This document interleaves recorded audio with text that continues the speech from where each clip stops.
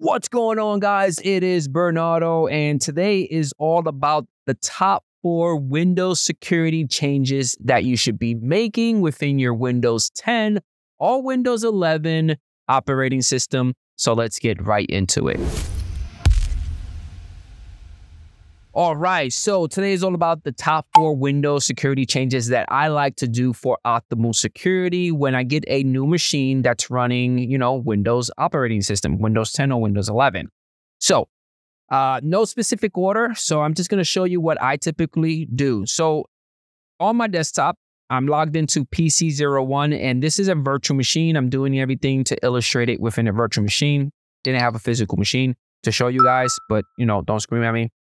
I'm going to click on Start and I'm going to click on Settings. Once the Settings app is up and running, we are going to click on Privacy and Security, which is located on the left-hand side. So click on it. From here, we are going to click on Windows Security. And right there where it says Open Windows Security, let's click on that. It's going to load this up. Uh, on the left hand side, we are going to click on device security. And within here, the first one, core isolation. So we're going to click on core isolation details and just slide that to your right to enable it. As soon as you enable memory integrity, it's going to want you to restart the machine. So just restart the machine and then you're good to go. Now, the next one that I like to configure within the Windows security section is the following. I like to go into the app and browser control. Within here, uh, the first one, Smart App Control. We're going to click on Smart App Control Settings. Now, within here, you're most likely going to see the eval mode turned on. If you have the option to turn it on, I would say just turn it on. Windows is going to automatically, you know, judge whether or not it's going to turn on or off. For this machine, it turned it off by default because it didn't have enough to decide whether or not it needed it or not.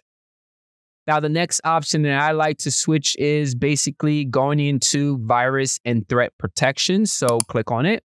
And we are going to basically scroll all the way down until you see the section that says ransomware protection. Click on manage ransomware protection. And within ransomware protection, we are going to configure control folder access. I like this option because it protects your files and folders and memory areas on your device from unauthorized changes. By default, it is turned off. You are able to turn it off by sliding the toggle key, and then you should be good to go. I don't remember whether or not you have to restart the machine, but if you do, just restart the machine and then you're good. Now, the last option I like to turn on, if we go back into the apps and browser control, and it is the second option, which is the base protection, just turn that on. This is a great setting which protects your device from malicious or potentially unwanted apps and files and websites. This is great to have. I don't recall, but if you turn this on, there's a good chance you might have to restart your machine. Just restart your machine, and then that's it. Hopefully, you guys enjoyed the top four options that I like to change within the Windows security uh, section. Uh, and I catch you guys on the next one. Peace out.